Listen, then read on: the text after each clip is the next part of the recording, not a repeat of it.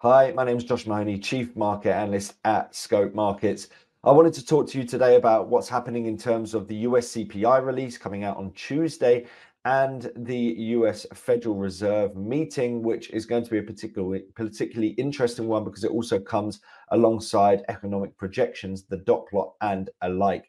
Certainly, from the perspective of the outlook from the Federal Reserve, this shift in terms of the dot plot is going to be really interesting because since they last enacted a dot plot, and we're going to show you it here, since we last saw a dot plot, we have seen significant movements in terms of market expectations, and that's partly what has driven price action over the past month. November saw equity markets do particularly well. We've seen that come off a little bit in December because November was all about more rate hike rate cuts next year and bringing them forward. So the expectation was 125 basis points worth of cuts in 2024, starting in March.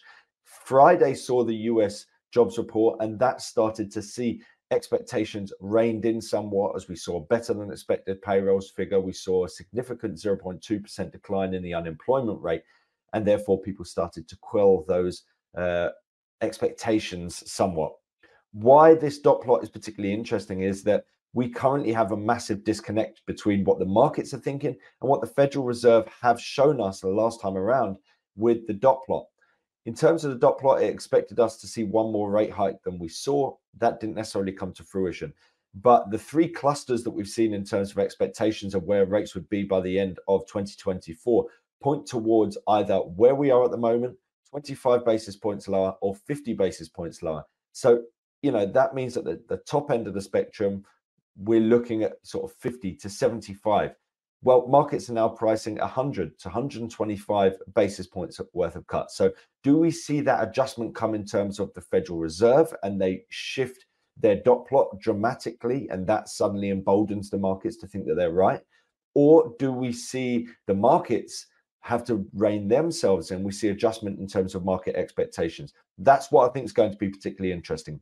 This is the latest uh, Fed Watch uh, outlook in terms of the expectations for the Federal Reserve meeting in March. That was expected to be the first rate cut. We're now seeing uh, 57% chance or 58 when you add uh, the 1% hike chance. So 58% chance that we're either at this current level or higher by March. So in actual fact, it's now an outlier, the view that we're going to see a rate cut. That is a big shift because it, prior to Friday's jobs report, we did see an expectation that we were going to see the first rate cut in March. In terms of the wider outlook for 2024, what we can see here is the sort of lightest bar of the lot is where we were a month ago. So a month ago, we were looking at the most likely outcome for 2024 is that we see, say, two to three uh, rate cuts this time around, we've now shifted it out. It's more towards 100 basis points worth of rate cuts rather than 50 to 75. And then the 125, which was the expectation coming into that jobs report, that has shifted lower somewhat since. So the view now is that we're going to see around about 100 basis points worth of cuts starting in May, no longer in March. And so the shift around these expectations has already happened somewhat. I wrote a preview to the uh, inflation report on Friday, and that was prior to the jobs report. And of course, now we've already seen this shifting uh, quite significantly since. But my view was that there was a good chance that we were going to see some movements in terms of expectations.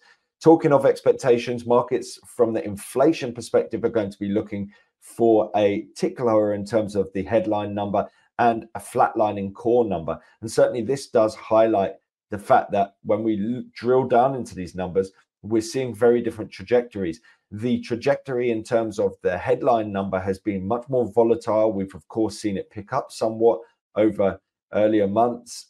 Then, once you know that July, August pickup has happened, we're now starting to drift lower once again. The core number we've been seeing very gradual, uh, but certainly we haven't necessarily seen the steep declines that we've seen in terms of the headline number.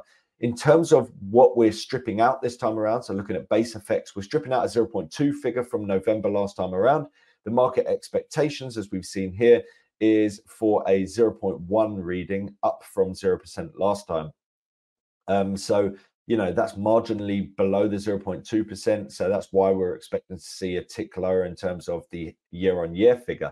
I think there's a good chance we actually see more than that. And, and we'll get onto that within this chart here. So US gasoline prices, we have seen coming off as we see energy prices continue to decline. Now, that continued downside in terms of gasoline and fuel prices over in the US points towards a potentially lower figure in terms of the month on month reading compared to last time around. If you look at this correlation that we've got here on this chart, last time around it was flat at 0% on a monthly basis. And therefore, whilst markets are expecting a monthly figure of 0.1%, I think there's a good chance that we see 0% or below that. Bear in mind the Eurozone number came in at minus 0.5. Don't necessarily think it's going to be as dramatic as that. But certainly, if we do see a figure of 0% or minus 0.1, then that does the job of driving down the annual figure to a greater extent and therefore that would embolden markets in terms of this idea that actually you know we're moving towards target in a more uh, hasty or dramatic fashion than, than we had previously expected. Maybe we're wrong. Maybe we are going to see more rate cuts next year. Maybe we are going to see 125 maybe we will see it happen in march. Bear in mind a lot of this is going to get clarified 24 hours later with the Federal Reserve meeting when we see commentary from Powell. In terms of the core numbers, I've put both the core PCE and the core CPI. Bear in mind, the PCE is the number that the Federal Reserve uh, prefer, but nonetheless, the CPI is the number that we're going to see on Tuesday. The, the figure that we're seeing stripped out is 0.3. The last time around, we saw a figure of 0.227. So there is a good chance that if we sort of carry on the sort of trajectory that we've seen over the past five months, that we will be marginally below that November figure and we could potentially tick lower. It's 4%. Market expectations are for another 4% reading. I think there's a good chance we see a 3.9% number, but you know, I don't think there's not too much between it. So 3.9, 4%, ultimately it points towards exactly what's happening, which is a very slow grind lower. And if you look at where the big chunky figures are that need to drop out for us to get back down to that 2% target, well, we need to get to May uh, before we see that happen. Um, so I think there's a good chance that by March time, we're not necessarily going to be back at target when it comes to the likes of the core figures more likely to be the headline numbers. So, from the perspective of what we're looking out for from the Federal Reserve meeting, I'd like to know whether they want to see that core figure down to target or whether they're just happy seeing headline inflation back down to target before they start to ease.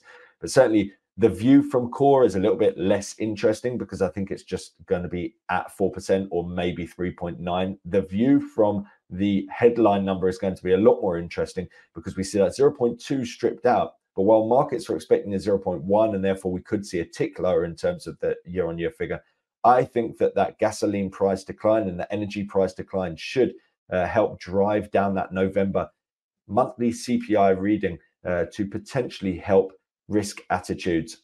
Talking of which, if we were to look at equity markets, this is the S&P 500. We're coming into trade uh, on Monday with a rally up into this prior resistance level that we have here. It's just here, 4607.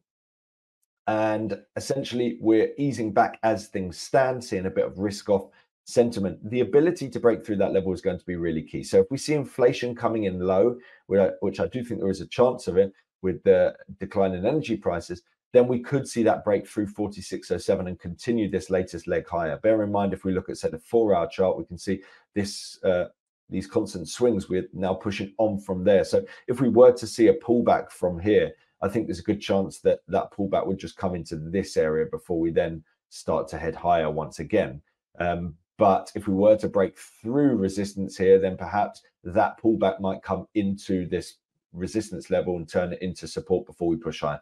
Essentially, 45 43 needs to break to negate this bullish trend that's been dominating the last month and a bit. Until that happens, look out for this inflation reading. If it comes in low, I think it should give a boost to markets and keep an eye out for that CME Fed Watch tool. It's free.